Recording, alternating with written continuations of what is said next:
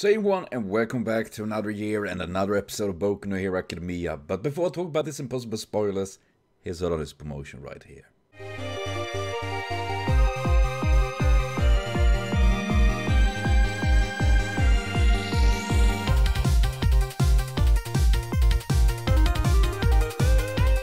So please be sure to check out Yonrei for more amazing art. Links are them and link below. We also find links to this re reaction video.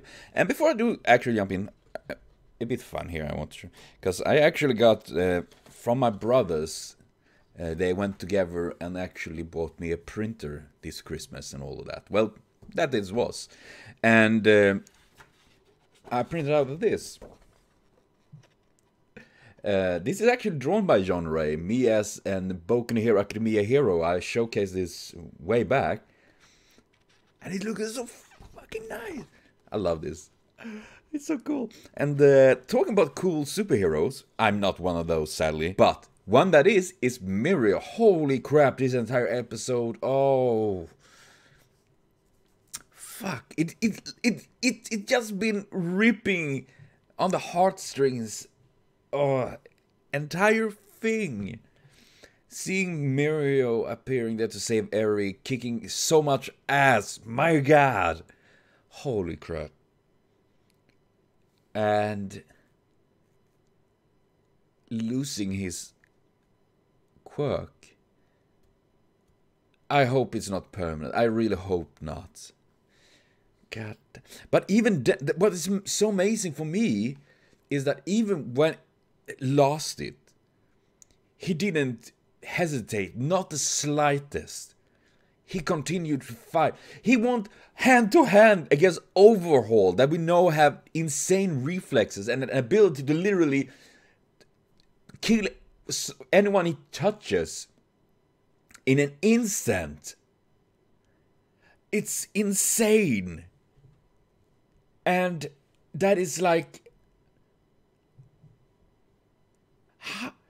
I mean, god damn seriously, Mirio had more courage than I don't know something that is very courageous. Seriously, that is just crazy.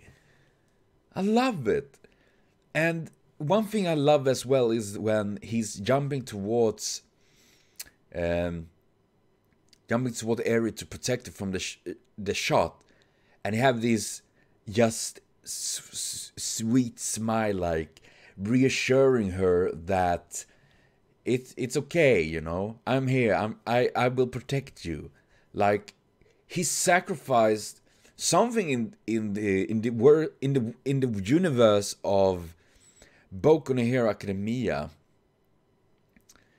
that is something that is he have cultivated, worked so hard for so long, and something that is seen as an uh, well natural thing that should be there pretty much now his quirk it's god it's no wonder people have been i mean people love uh, uh mirio. Seriously. Holy crap this episode was just fucking bonkers. I love that.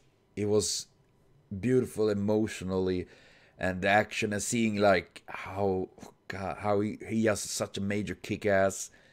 And one other thing, and uh, that I want to bring up while I'm talking about this, and something that I probably many just uh, gloss over is the uh, what was his name? I don't remember his name, but the guy that had the quirk confess, you know, confession.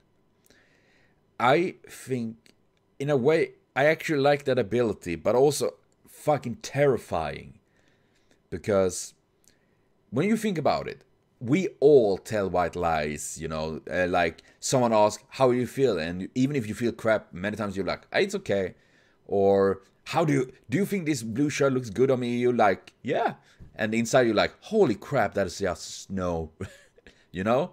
All these small things. And I don't think it's a bad thing because obviously we do that because being nice to each other and uh, being in ways, I mean, Telling the truth can also be a good thing, but at times it can also be a curse in many ways.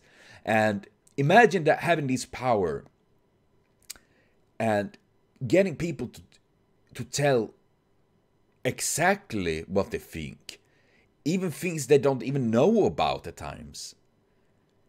How that must affect it. So it's no surprise to me that this guy is so attached to Shisaki, Shisaka, Shisoki. Is it was it Shisaki? I don't. I already overhaul. Let's go with that. Um, it makes sense because if if he uses power on overhaul and overhaul stayed as such intent and all of that, it's no wonder he's like all over to follow him, to be there and do everything for him because I can imagine if you have a quirk like that, man, very much similar to, oh, what was his name? Oh, you know the guy that uh, uh, Deku was fighting, him that can pretty much brainwash, you know. I don't, I don't remember his name. God damn, it was such a long time ago. He's a really cool character. I hope we get to see more of him. But yeah, you know, many were like, "Oh no, you know, he's that's some sort of uh, villain power right there."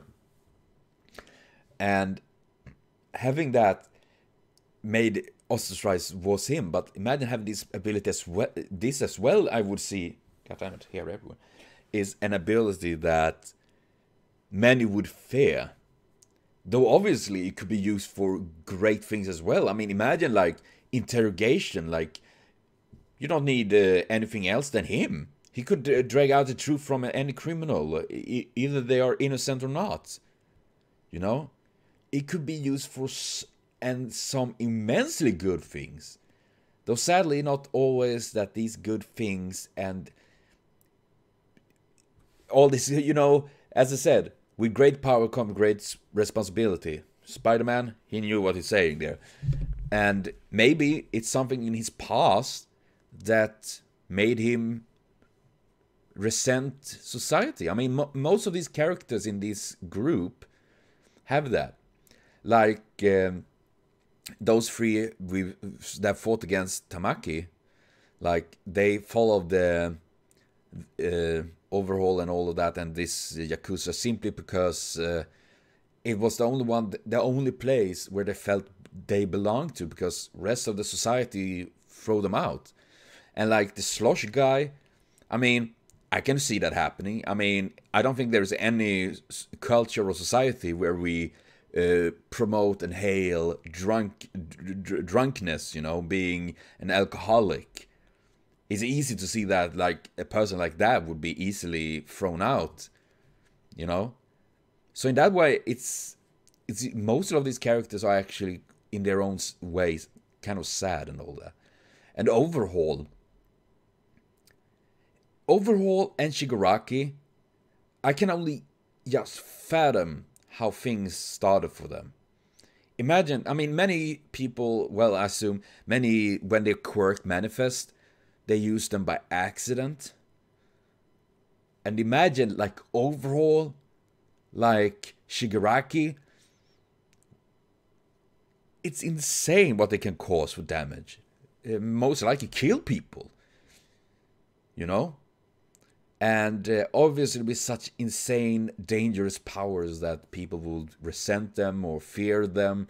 And of course, that is a good way, or good way, to lead them down the path of evil and all of that, so to speak. I think it's just interesting and uh, many really cool characters and uh, seriously, this episode was bonkers though. Obviously, in the center of this, Mirio and my god, uh, he's a he's a good boy. But yes, I will be back next Sunday. As I said, Ne next Sunday, I will be back as normal.